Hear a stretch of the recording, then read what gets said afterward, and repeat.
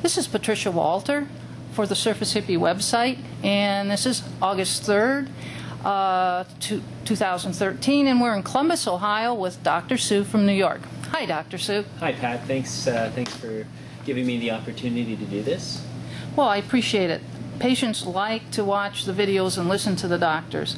Could we just start quickly, uh, have you do a short summary about when you started to do hip resurfacing and why? Sure. Um, so I'm in practice in New York at Hospital for Special Surgery, and uh, I started doing hip resurfacing in 2004 uh, because I had the opportunity to see one of our faculty, who was there a long time ago, Dr. Harlan Amstutz, come and give a lecture at Special Surgery, and he showed us about his hip resurfacing device, his results, and how it was applicable to a younger uh, active patient population. And it really uh, brought out something in me that compelled me to want to learn the technique. Um, I realized that uh, as a joint replacement surgeon, we were seeing lots and lots of younger active patients, and unfortunately, the results with total hip replacement just weren't uh, quite as good in that group of patients and it left me searching with uh, something more. And hip resurfacing has really provided that uh, solution for those patients. And what device do you normally use? Well, Pat, I've used a few different devices. I've used the Conserve Plus in the past, the Biomet Recap, and the Birmingham Hip Resurfacing. And I would say the majority of my patients um, are with the Birmingham Hip Resurfacing or the BHR, and that's the device I prefer at this point because um, the scientific data from around the world is basically about the BHR and it has the longest track record with the most implantations and that's uh, really what um, compels me to continue using it.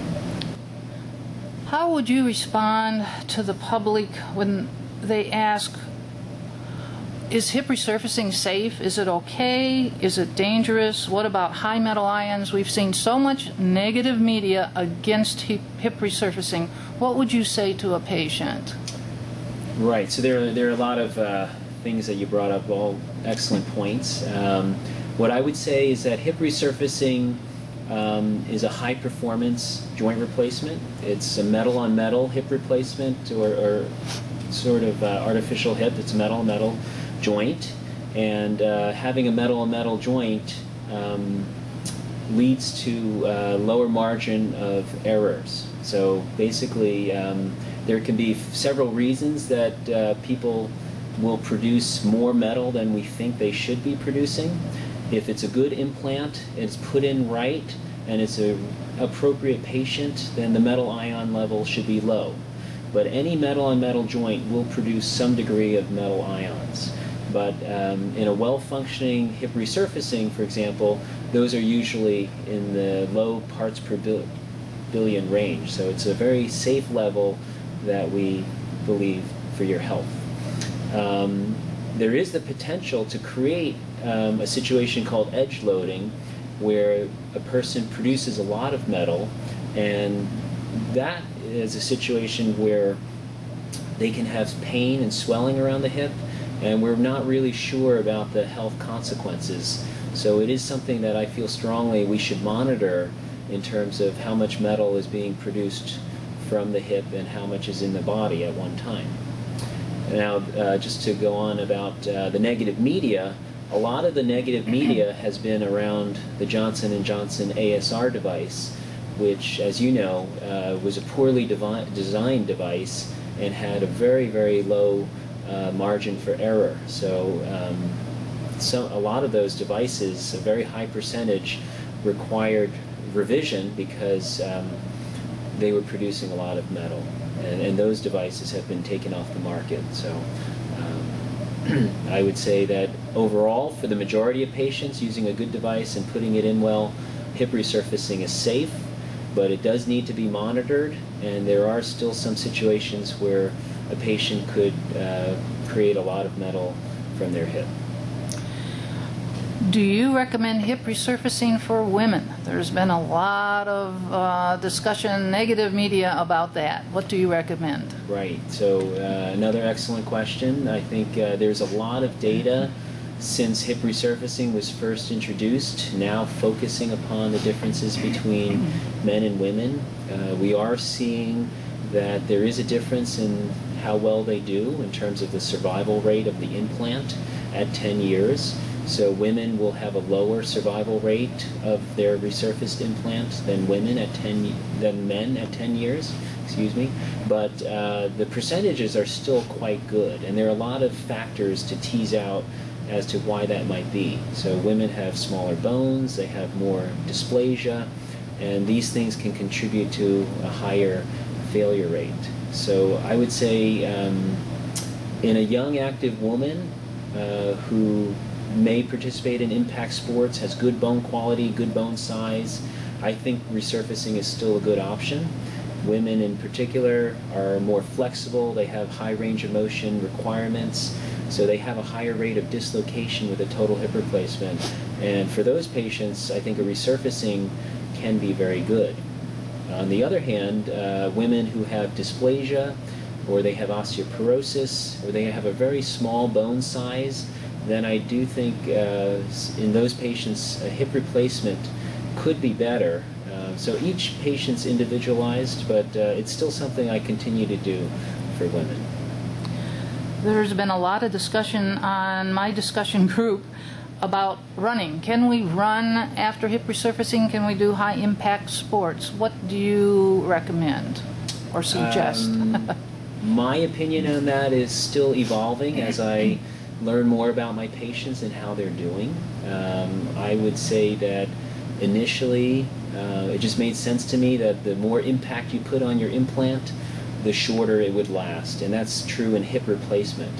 But uh, now that I've been doing hip resurfacing for almost 10 years, I have several runners, and uh, some of them long distance runners, marathoners, um, and they are showing me that uh, their hip resurfacing holds up to that kind of activity, and uh, they're able to do it. I think physically, uh, hip resurfacing will allow you to do it. It's the consequences on longevity that I don't know, and I don't think anybody knows at this point. So.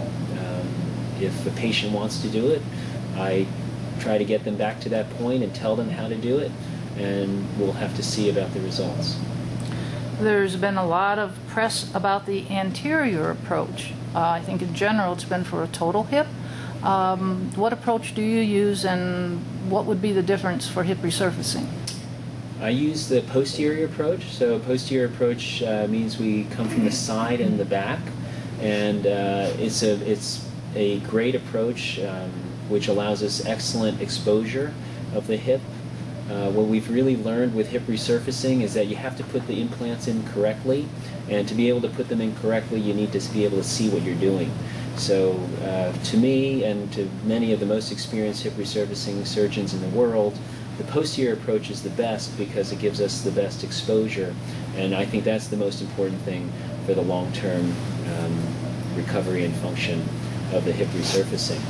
Um, if we look at the anterior uh, approach for hip replacement, which I do perform in select patients, um, I think it's a good way to get there, and there are many ways to get into the hip.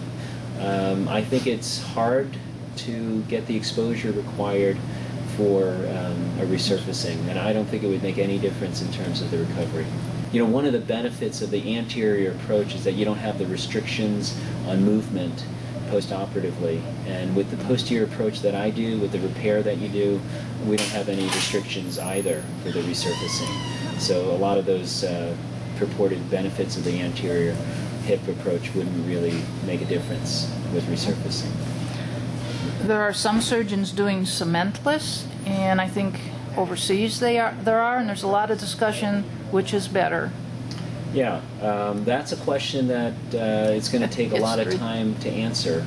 Um, I think it's a, a viable technique, and uh, that surgeons who have done it have had good results with uh, both cemented and cementless. Um, I would say, obviously, the, the Birmingham has had the longest track record, and that's been a cemented device ever since its inception. So um, that has the advantage, and it has longer term data and uh, we've not really seen a femur loosen from the cement mantle. So loosening of that femur doesn't really seem to be a big failure mode for the cemented resurfacing. With all the negative media in the last couple years, I think hip resurfacing was not as popular, or people were afraid. Do you think hip resurfacing will regain popularity again? And uh, what percent could be resurfacing in the hip replacement? Right. So um, I think that we are seeing basically the tail end of the negative media. I hope um, it's uh, something that we've been subjected to uh, over the last uh, several years, but um, we're starting to see increasingly that they're separating out metal and metal hip replacements from hip resurfacings, um, even in the scientific literature. So the metal and metal hip replacements are doing poorer, and people have basically stopped doing those. So, uh, in a sense, those negative media and papers have achieved their goal, and the bad uh, procedure and bad implants have kind of been weeded out. Uh, metal on metal hip resurfacing, though, uh, does seem to be gaining in acceptance. They say uh, the metal metal hips are bad, but the metal metal hip resurfacings are okay. We're seeing that more and more in meetings. So I think as the negative media decreases and meetings such as this one and more scientific literature about the function of resurfacing increases, uh, we'll see more surgeons getting interested in resurfacing again, and hopefully we'll continue to train hip resurfacing surgeons. And I would say, you know, it could probably reach up to uh, 10% of the population of patients with arthritis. And uh, history has shown us in the UK and Australia, when it was very popular, it was almost 9 to 10 percent of, of their primary hip replacements. So that would be my hope. Well, I appreciate your comments, and I know a lot of prospective patients will watch the video. Thank you very much. Well, thank you, Pat, and I want to thank you for all the hard work you've put into your site and sharing the information that you've gathered over the years to uh, all the patients interested in hip resurfacing. So thank you. Thank you.